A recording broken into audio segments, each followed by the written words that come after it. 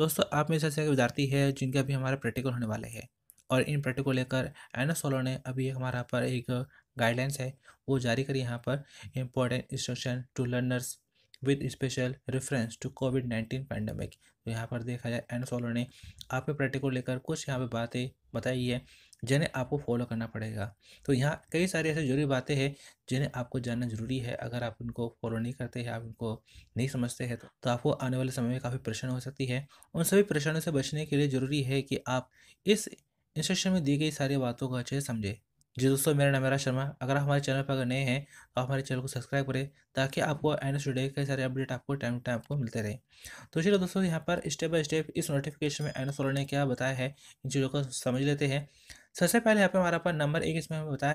Learner must wear face mask and और hand gloves and may carry a small transparent hand sanitiser water तो यहाँ देखा जाए, सबसे पहले हमें बात आती है यहाँ पर आपकी, आप जो अपने एग्ज़ाम देने जाते हैं तो ऐसे में आपका जो मास्क पहना ज़रूरी है, आपका ग्लास वगैरह आपको वो पहनना होता है।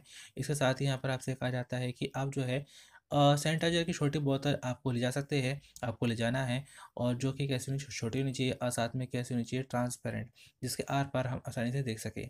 इसके साथ यहाँ पर नंबर दो नंबर दो यहाँ पर आपको खास बात बताई जाती है at the time of entry to the examination centre separate queue shall be formed for boys and girls and social distance of zero two metres shall be maintain तो यहाँ आपसे कहा जाता है कि जो आपके एग्ज़ाम में आपकी एंट्री होती है तो ऐसे में लड़कों की लाइन अलग होती है, लड़कियों की लाइन अलग होगी और साथ में आपसे कहा जाता है कि एक सोशल डिस्टेंस मेंटेन की जाएगी, जो कि होती है ज़ीरो टू मीटर्स तो स्टूडेंट के बीच में यहाँ पर ज़ीरो टू मीटर्स की डिस्टेंस होगी।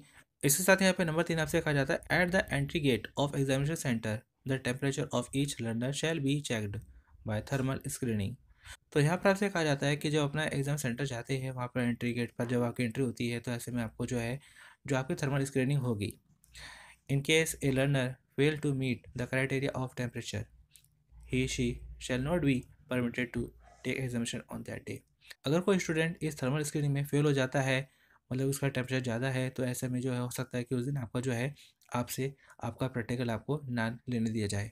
तो ऐसे में हो सकता है कि आपका उस दिन आपका प्रैक्टिकल आपसे ना लिया जाए।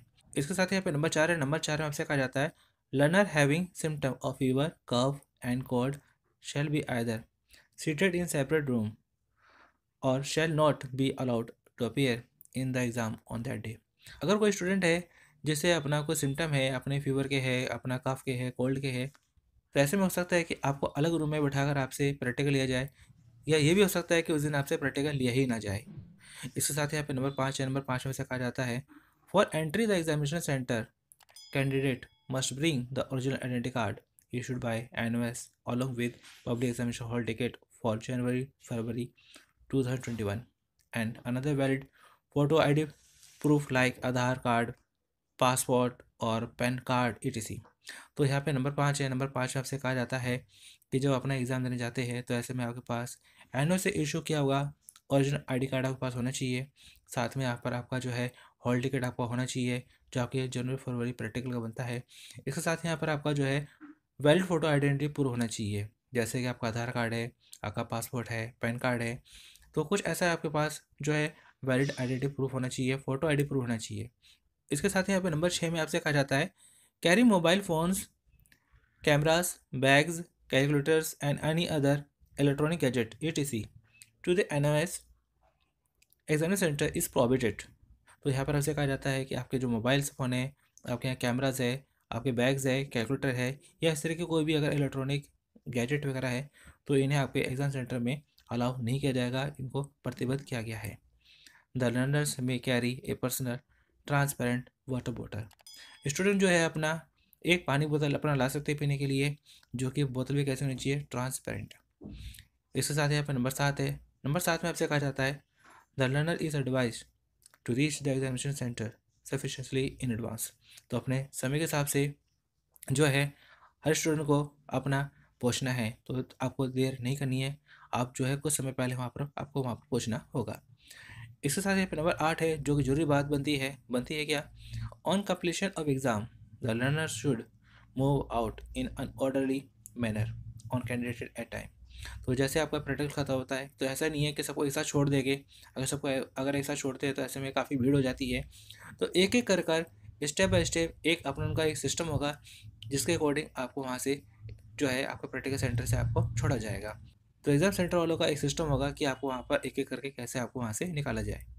तो यहाँ पर देखा जाए, ये कुछ बातें हैं जो आपको फॉलो करनी है और यहाँ पर इन बातों को आपको समझना है। अगर आपने इन बातों को अच्छे समझ लिया तो अच्छी बात है। आप चाहे तो वीडियो को दोबारा से सुन सकते हैं, क्योंकि अगर इनमें आपने कहीं गलती करी तो आपको नुकसान हो सकता है। तो इसी तरह के अपडेट के लिए आप हमारे चैनल को सब्सक्राइब करें और साथ में इन वीडियो को शेयर करें। हमारे चैनल पर आपको पढ़ाई को लेकर कई सारी वीडियो मिल जाएगी। हमारे चैनल को आप विज़िट करिएगा। तो चलिए दोस्तों मिलते हैं नेक्स्ट वीडियो में। Thanks for watching